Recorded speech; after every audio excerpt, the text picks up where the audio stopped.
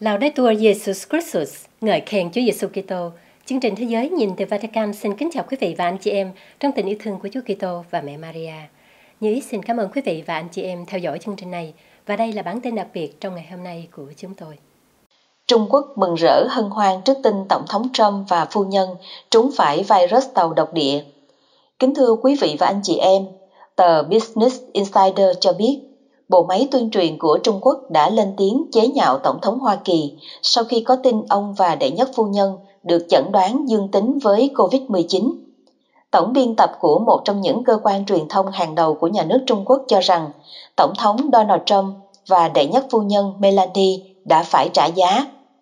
Tờ Hoàn Cầu Thời báo Global Times cơ quan ngôn luận của Đảng Cộng sản Trung Quốc xuất bản bằng Hoa văn và Anh văn cho chạy các hàng tít lớn ngay sau khi chính Tổng thống Trump xác nhận mình và đệ nhất phu nhân Melanie đã có xét nghiệm dương tính với coronavirus. Trong một tweet đánh đi lúc 12 giờ 54 phút khuya ngày thứ Năm rạng thứ Sáu 2 tháng 10 theo giờ miền Đông Hoa Kỳ, tức là lúc 11 giờ 54 phút sáng thứ Sáu giờ Việt Nam, Tổng thống Trump cho biết Tối nay đệ nhất phu nhân và tôi đã có kết quả dương tính với COVID-19. Chúng tôi sẽ bắt đầu tiến trình cách ly và phục hồi ngay lập tức. Chúng tôi sẽ vượt qua điều này cùng nhau.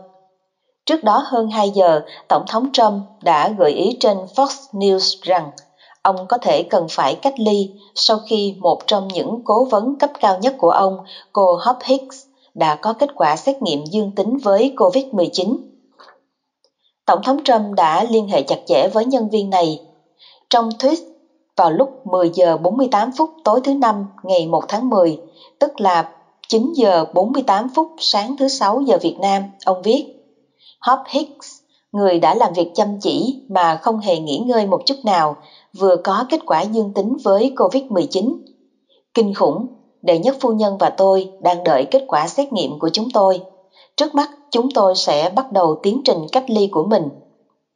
Ngay sau khi tin tức này được loan truyền rộng rãi trên thế giới, tổng biên tập của tờ Hoàn Cầu Thời báo đã tweet rằng Tổng thống Mỹ và phu nhân của ông đáng bị mắc bệnh này.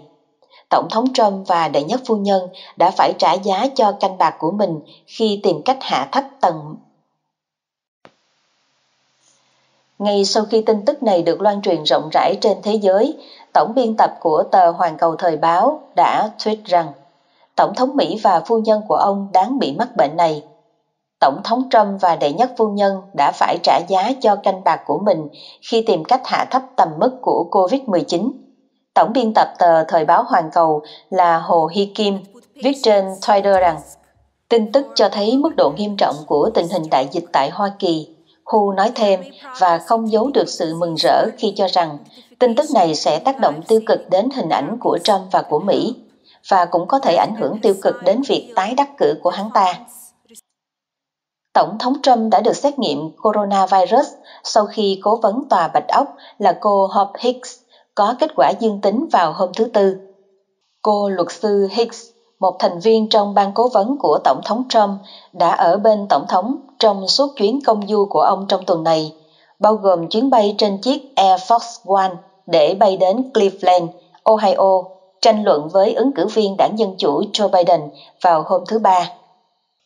Bác sĩ Sean Conley của Tòa Bạch Ốc đã đưa ra một lá thư trình bày chi tiết về các chẩn đoán. Ông cho biết cả Tổng thống Trump và đệ nhất phu nhân đều khỏe mạnh vào thời điểm này. Bác sĩ Conley nói thêm rằng Ông hy vọng Tổng thống có thể tiếp tục thực hiện nhiệm vụ của mình không chút gián đoạn trong khi phục hồi. Hồ Hy Kim đã từng là người chỉ trích mạnh mẽ Tổng thống Trump, đặc biệt khi đại dịch coronavirus lan rộng trên toàn cầu và sau khi quan hệ Mỹ-Trung rơi vào tình trạng ngày càng sa sút.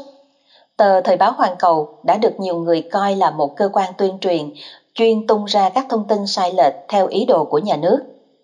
Tháng 6 năm nay, Bộ Ngoại giao Hoa Kỳ đã chỉ định Thời báo Hoàn Cầu và một số cơ quan truyền thông khác của Trung Quốc là cơ quan đại diện nước ngoài do chính phủ ngoại bang kiểm soát.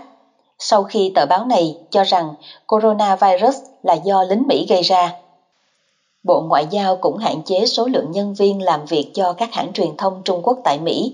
Động thái này đã dẫn đến một đòn trả đũa từ Bắc Kinh. Hàng chục nhà báo của The New York Times Washington Post và Wall Street Journal bị trục xuất về nước. Bình luận viên Andrew Bolt của Sky News Australia bày tỏ nỗi buồn trước cách hành xử của Trung Quốc. Đất nước có một nền văn hóa truyền thống lâu đời, giờ đây lại đi cười nhạo những nạn nhân của đại dịch kinh hoàng do chính mình gây ra. Thật là một chuyện vô luân. Bất kể những trấn an của bác sĩ Conley, Tổng thống Trump năm nay đã 74 tuổi, cho nên trên các trang mạng xã hội, nhiều người kêu gọi cầu nguyện cho Tổng thống Trump, phu nhân và cô Hope Hicks. Hiến pháp Hoa Kỳ đã dự trù cho trường hợp xấu nhất khi vì lý do nào đó Tổng thống qua đời hay rơi vào tình trạng không thể điều hành đất nước. Điều 2 phần 1 triệt 6 cùng với các tu chính án thứ 12, 20 và 25 quy định Phó Tổng thống là người lên thay. Trong trường hợp hiện nay là Phó Tổng thống Mike Pence, người kế tiếp là Chủ tịch Hạ viện Nancy Pelosi, rồi đến các Phó Chủ tịch Thượng viện Chuck Grassley, sau đó mới đến Ngoại trưởng Mike Pompeo.